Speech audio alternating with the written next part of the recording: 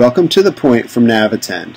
We're going to learn about adding custom fields to QuickBooks invoices. In a prior edition of The Point, we learned how to track custom data in QuickBooks.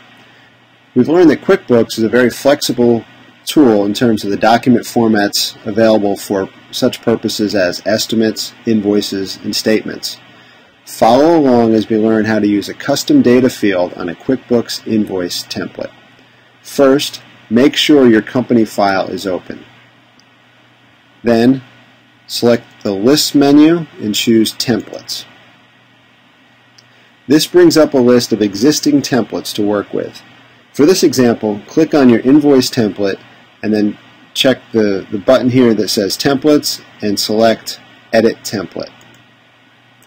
This brings up the basic customization window. There are a lot of options here, what we want to do is choose the Layout Designer at the bottom of the window. So click on Layout Designer.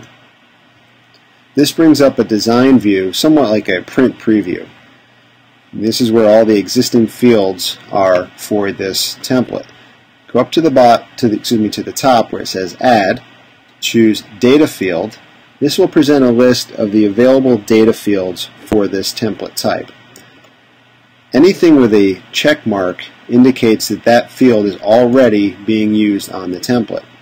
We're going to choose this field here called My Custom Field just by double clicking and this will bring the field and a label to the middle of the document template. Next, drag these fields to the location where you'd like to include them on the template. It's that simple. Please follow the link at the bottom of the screen to learn more about QuickBooks, Microsoft Office, and general computing help. Thank you.